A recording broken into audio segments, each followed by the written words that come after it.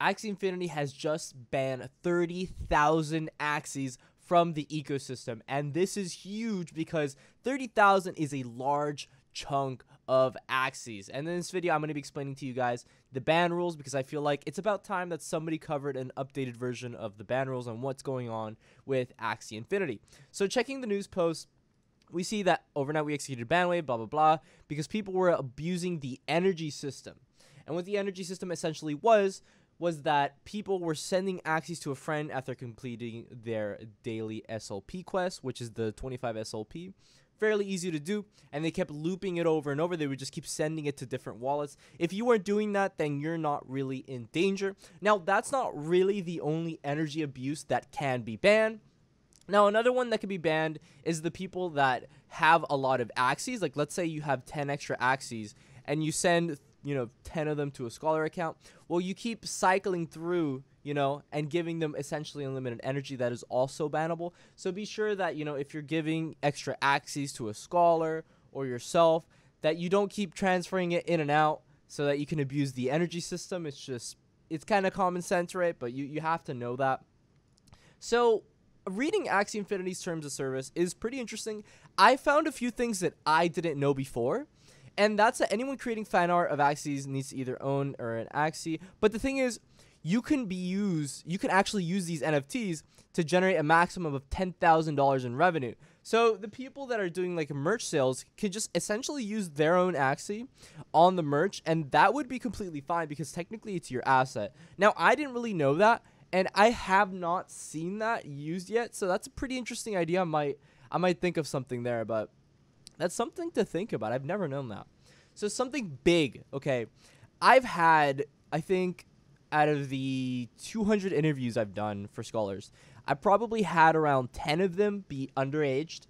I cannot hire minors. I I don't know like what age you are or whatever, but in the Philippines, it's 18 years old. If you're under 18, there is no way I'm going to be hiring you because I live in the United States and here there are regulations and I have to cover myself because it is against the rules and I'm taking extra risk on top of the risk that I have, you know, just taking on scholars by hiring a minor. So I'm really sorry for, you know, all the minors that are trying to get into Axie Infinity.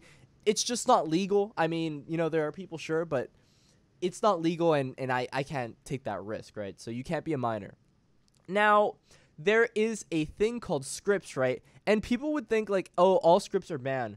Well, the scripts that are banned are the non-human scripts for the Axie Infinity game. So people that are multi-accounting in the Axie Infinity game with like robots that do scripts to do adventure mode, which automatically do adventure mode, well, they're at risk of getting banned, right? And all those posts that you've seen online of like a guy, he's just looking at a screen with like 20 Axie Infinity clients, those people are in big risk to get banned if they get found out. If they get found out, it's a guaranteed ban. Okay? But the ones that are okay are things like Axie.beer, which helps you scholarship manage, building public tools and bots such as you know the price calculators and breeding except when there's a breeding event happening. So breeding automated breeding is okay but when they're doing the 1 millionth breeding event it's not okay going on to my next point the one that i was talking about earlier with the ban wave that just happened it's like you will not manipulate the energy system such as gifting Axies to make use of more energy it's the same as multi-accounting it's kind of the equivalent, right? You're just giving Axies to multiple accounts, which is against the rules.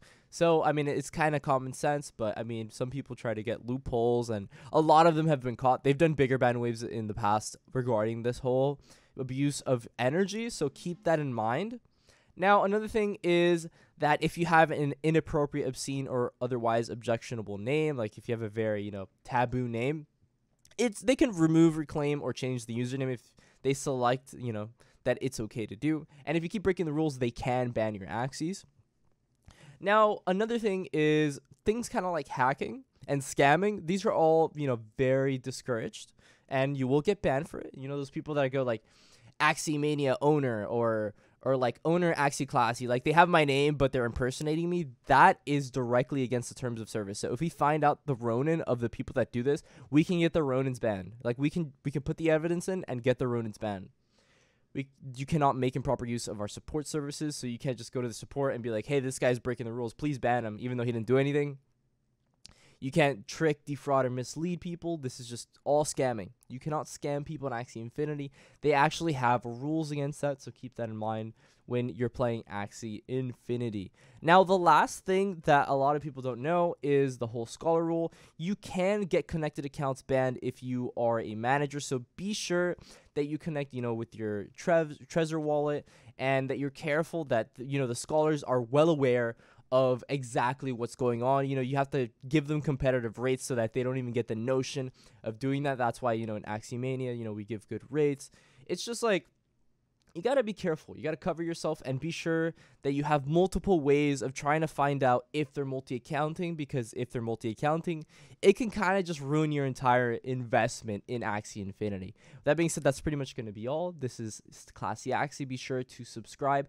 I do want to say, you know, talking about the topic of managers, we do have Axie Mania Guild, which is in my link tree below in the description. If you're a new manager trying to get into Axie Infinity, we will help you you know, you can join our program completely free. There's there's zero catch. You can talk to us.